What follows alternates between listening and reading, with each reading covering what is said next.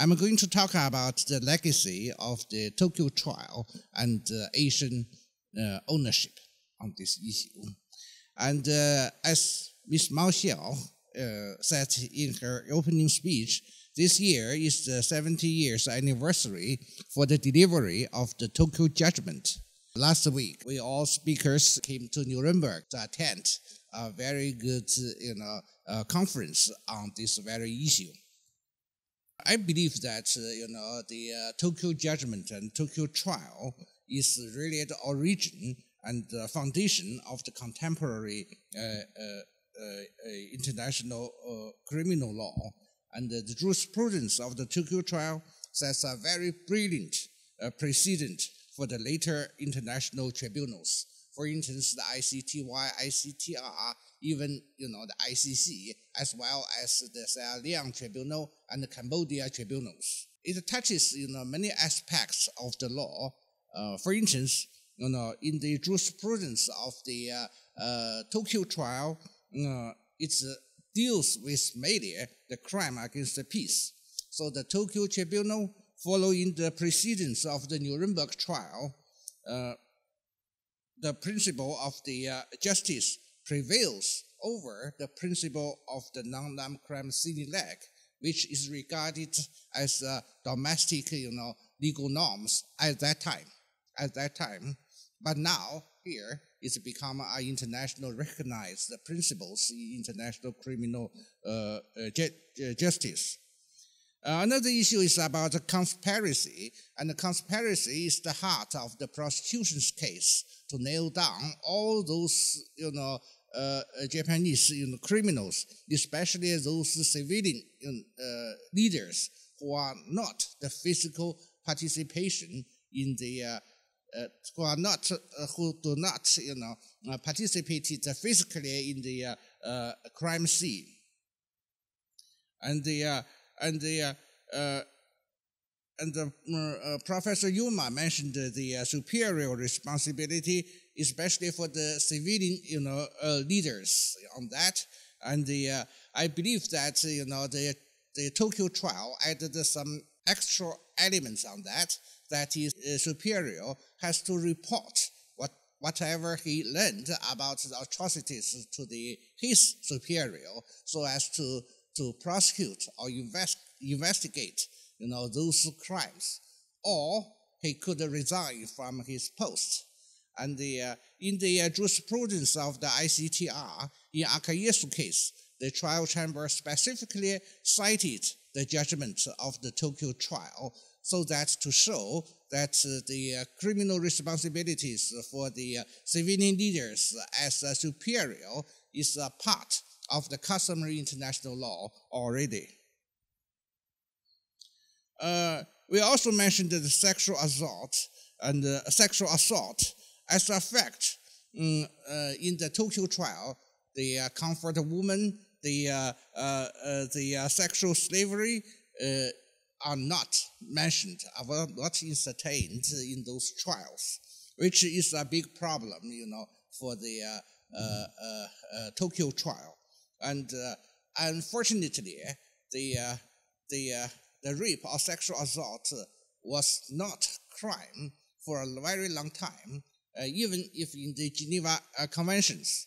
And only until the uh, establishment of the International Criminal Court in their statute, that is the Article 8, Paragraph 2, B, uh, 12, and E, 6, rape, sexual slavery, enforced the prostitution, forced the pregnancy, was first time become a crime in the statute of uh, international uh, uh, tribunals. And uh, it, that could be uh, applicable both to the international armed conflict as well as to the non-international armed conflict. Uh, the immunity of the head of state is also an issue in the Tokyo trial. As we know that Emperor of, of Japan was not prosecuted or indicted or put on trial at the time, but evidence have shown he somehow, you know, involved in those, you know, aggressive wars. That is the, uh, uh, the, the, the, big, you know, uh, uh setbacks for the uh, uh, Tokyo trial because of the political reasons. but later on in the ICTY, we, we changed completely, you know, those, you know, of practice. The Milosevic was the uh, the president of the Serbia. He was indicted, and uh, Karadzic, you know, was you know put on the trial. You know, Judge Kwon here, you know, uh, uh, and uh, and other you know uh, leaders in the uh, Rwanda tribunals. The former Prime Minister Kambanda was you know indicted and convicted. He pleaded guilty, you know, on that.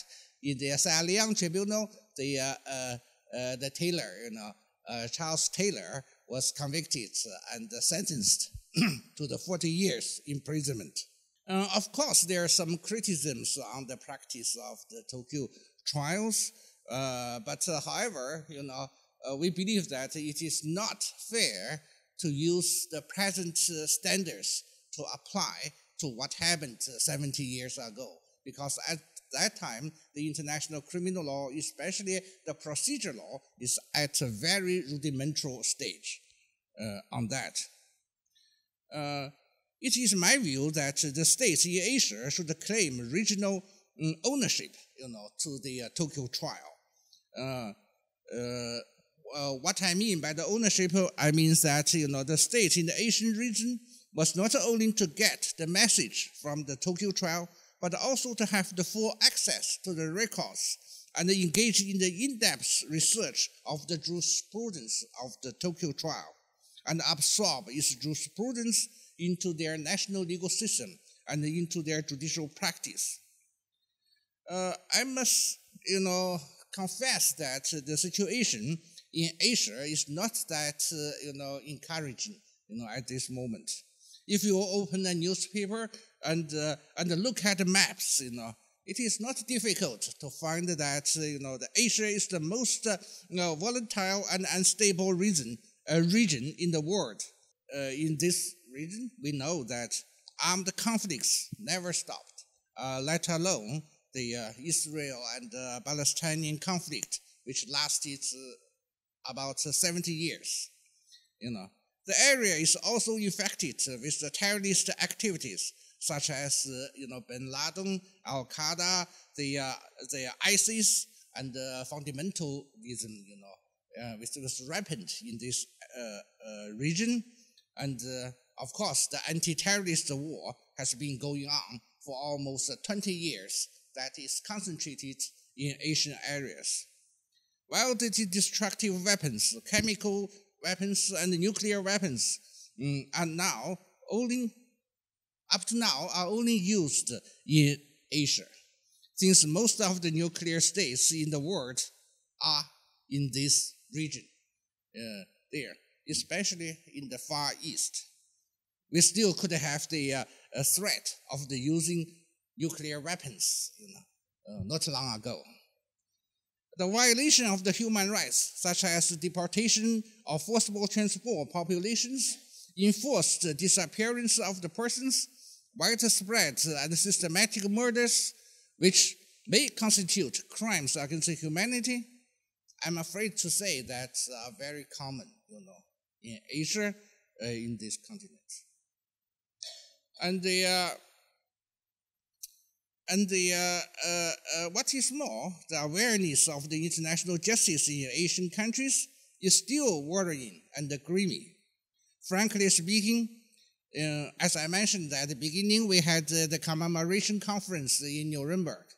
I'm very excited to participate in that you know, conference, but on the other hand, I feel a little bit sad because it should be held in Asia first I hope you know the uh, Asian countries could have some kind of activities, you know, in the rest of the the uh, the year uh, on that. Among all those, you know, contracting parties to the ICC statute, in Asian has the least, you know, uh, participating states, you know, there, and the big countries uh, with the biggest population remained outside of this you know, despite uh, Judge Song's you know, efforts in the past you know, years. And uh, for instance, such as China, India, Pakistan, Saudi Arabia, those are big countries, but they still remain outside the schemes of the ICC. Uh, mm, and what's more, an Asian country, an Asian state recently declared withdrawal from the uh, ICC. You know, uh, so so uh, another thing is that you know, as a result, the Asian states were underrepresented in the all the international criminal uh, tribunals. You know, I heard that you know there's only 19 you know Asian staffs you know in the uh, huh? the parties. Okay. Yeah, uh, in, uh, uh, in ICC and uh, in the MICT, uh, where I am working in, I think there's only one, you know, Asian staff, yeah, staff from the Asian legal research, which is, you know, greatly underrepresented. underrepresented. But however, this may provide more opportunities for the Asian students of the international law and the non-governmental organizations to bring their ability to the full. Um, a lot of work has to do uh, lobbying, uh, hold scenarios, uh, conferences, and other activities. I think most important is to assist the state in the region to put the humanity as the ultimate value of the community of mankind. And, uh, and rather than indulging in the power and the violence, by descending of the knowledge of the international humanitarian law, international criminal law, and the international humanitarian law, the students should be able to catch up with the latest developments of the jurisprudence of the international uh, criminal law. Uh, there's one thing I think at this moment I could pro promise to the young students in Asia and scholars. That is, there are plenty of the room to bring one's talent to the full in the fields of the international criminal law in Asia. I'm quite sure that the lessons learned and the practice identified will provide a valuable experience, especially to the Asian states. Thank you.